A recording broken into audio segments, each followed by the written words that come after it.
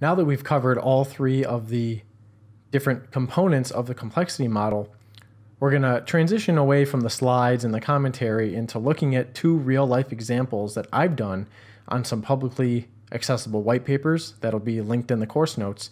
And we're going to walk through how I went and did complexity assessments and how I integrated them with my daily work.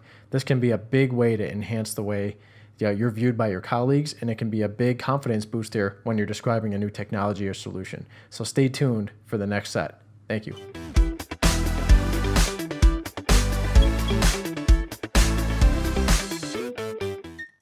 Welcome back everyone, Nick Russo here, and this next video we're going to look at a original research document I wrote a few years ago about using BGP in a leaf spine data center to optimize the flow of traffic. So dealing with elephant flows and load sharing and other kinds of things like that without using any kind of tunnels or overlays or anything crazy. We want to see, can we just do this with BGP and IGP? And the answer is yes, I came up with a way to do that.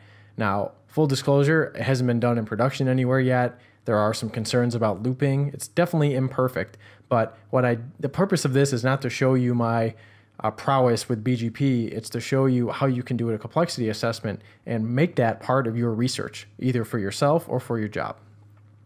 So before I just jump into complexity, I do need to spend a few minutes and explain how the solution works. Otherwise, I'm just going to be basically reading you a document you're not going to understand. So we're going to just kind of, I'm just going to scroll through this document rapidly until we get to some of the overview stuff and we'll talk through it briefly. So I don't want to read you a book because you can just read this on your own. We'll focus on the diagrams and I'll give you a quick narrative. So I'm showing just a picture of a generic leaf spine network. So for those unfamiliar, I have spines in the center here, and specifically we're talking about a three-phase leaf spine network uh, for the entire uh, document here, so don't think about anything larger.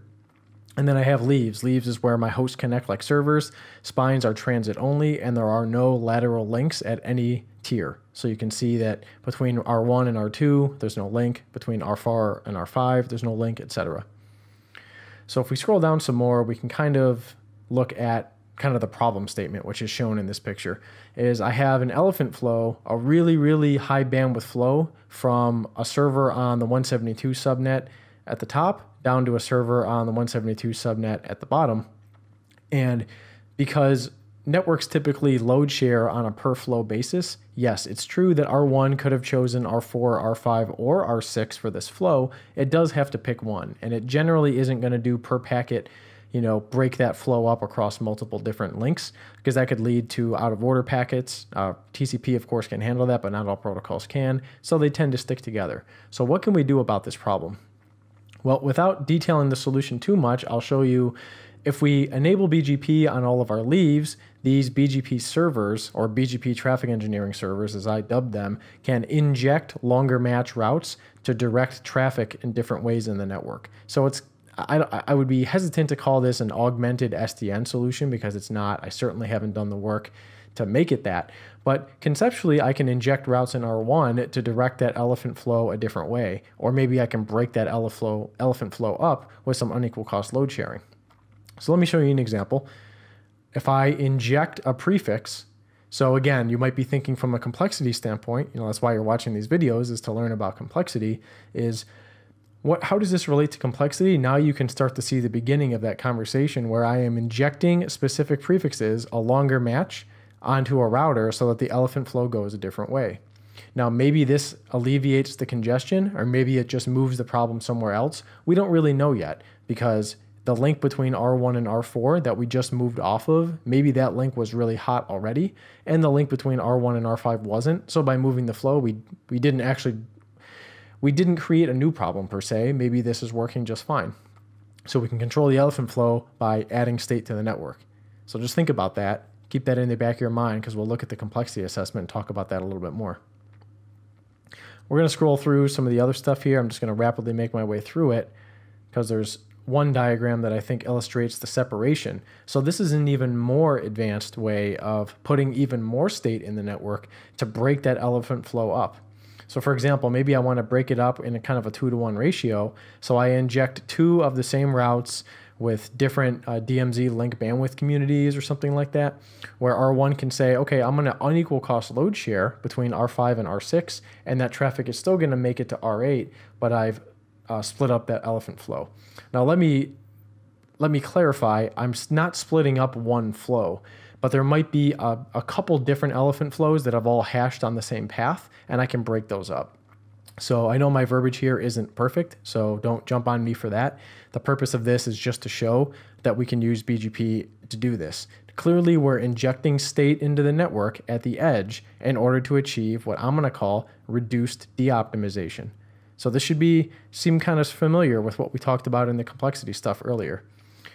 So now that you understand the basic solution, let me show you what I like to do when I write professional uh, documents. So these are, again, original research. These are my personal documents that are uh, free and open for everyone to use and edit and borrow, whatever. But I do this for work too, and it's a very similar format. So I usually have a big section and I call it complexity assessment. I start off with a description of what this even means. Because a lot of times when people read this, they roll their eyes and they say, oh boy, now we get to hear about Nick Russo's opinion. Well, I try not to make it too opinionated. I try to keep it empirical, fact based, and objective, which is what this whole course is about. So I briefly summarize where did I get my model. I reference the book that Russ uh, White and Jeff Tantsura wrote. So this is the book that uh, that a lot of these concepts came from, and quite frankly, where I learned all this stuff. Then there's three subsections: state, optimization, and surface. Not surprisingly. I give a brief description of what state is. I'm not going to read it to you. We already know that state is the amount of control plane present and the rate at which state changes in the network. So it's the combination of the quantity of state and the rate of change. That's what we're calling state. Now, I these these assessments don't have to be long and complicated and painful. Typically, mine are only two to four pages, and in these original white papers, they're typically very short, just because I didn't want to get too wordy with it. For more complex designs, oftentimes I'll include diagrams, uh, as I did in the PowerPoint presentation, to better illustrate the point. But you can also keep it very simple and use this as a way to practice and hone your skills. So I'm going to read a couple excerpts that I think are important just to think through. So the state retained across the fabric scales linearly as nodes are added.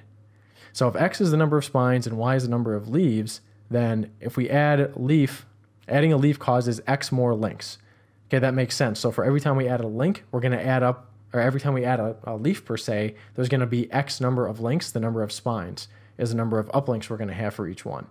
And adding a spine causes y more links than topology, one per leaf. So this is just kind of a generic way of saying we are increasing the complexity or the increasing the size of the IGP graph. The, when I say IGP graph, I'm talking about IS to IS or OSPF in this case, assuming you're using those routing protocols as the uh, next hop reachability for BGP in this design. So this isn't even specific to BGP injected prefixes, that's in the next paragraph. But even if we look at it from the most basic perspective, just from leaf spine without BGP at all, we can almost see the correlation between adding and removing nodes to the fabric with how it affects state. Because each one of those lines is a new link in the database that needs to be maintained. There's new flooding across those links, which affects the speed of state, and you can see how all these things fit together. So it would be fair to say that as you add nodes to the fabric, the state will increase, which means that if you haven't improved optimization and you haven't reduced surface interactions, then overall your complexity has also increased. So you'll want to keep that in mind too.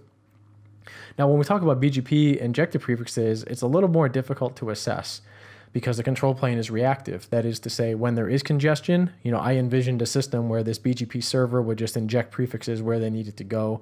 As I said, I didn't develop the logic for this yet, so it's a little bit pie in the sky.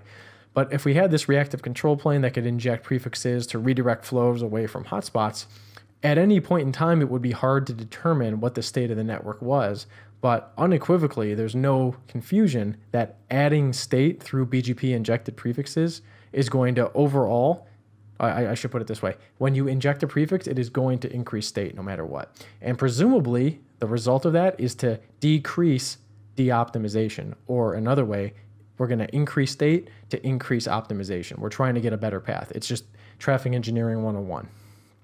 That's generally uh, how state works in this network. So I was able to describe most of that in about two or three paragraphs here. Let's look at optimization. So when I wrote this initially, I kept optimization in a positive context just because it was a little bit easier to understand. So I mentioned here that optimization has a positive connotation.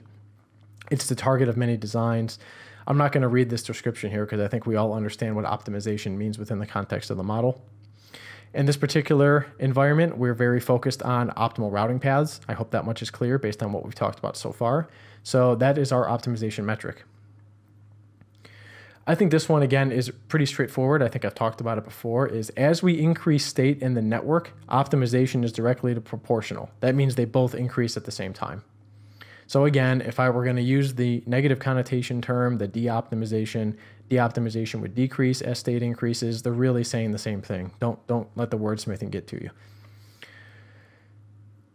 You can consider a network unoptimized within the context of this network if BGP isn't controlling it and it's just regular IGP routing. So you might just consider that unoptimized ECMP, okay, fine.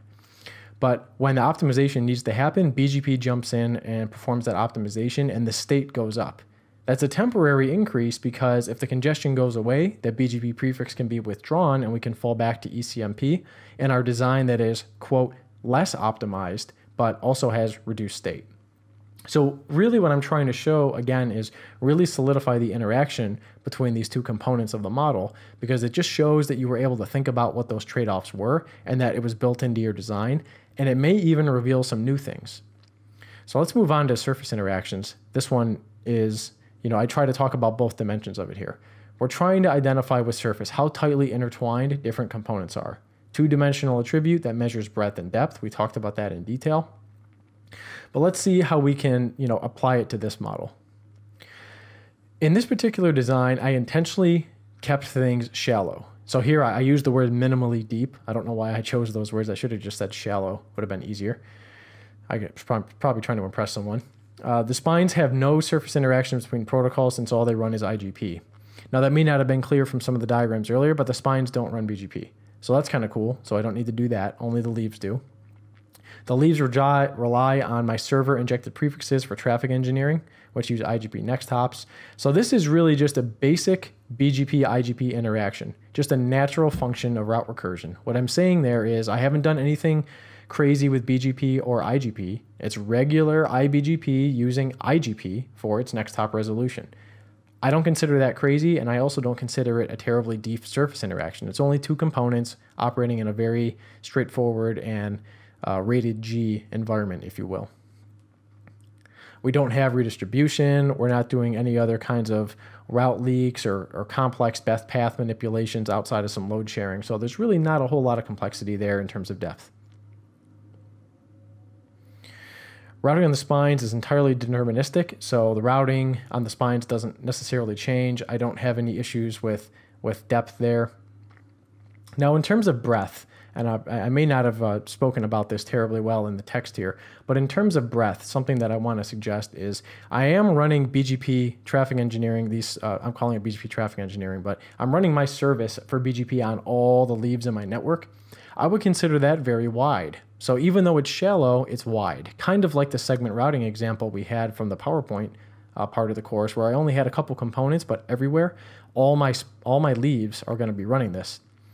The reason all the leaves need to run it is so that I have control over determining what flows go which way across which spines. And if I only ran it on certain leaves, then I wouldn't be able to engineer where the flows were going. I would only get control over a few, maybe making changes in some, and then hoping that the others, um, you know, they hash their their hash algorithms take their traffic on a different path.